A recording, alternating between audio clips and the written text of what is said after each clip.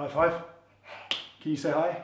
Hi! Uh, yeah, g'day and welcome to this instructional video on how to teach a kid curse words.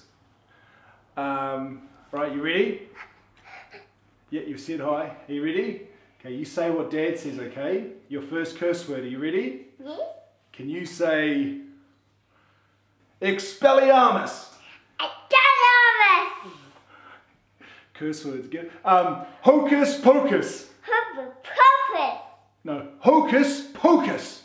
Pocus! Pocus! Um, you shall not pass. You do not pass! Um, that was how to teach a kid curse words. You know, like curse as in spell. And uh, no kids were harmed in the making of this video. Oh, son of a...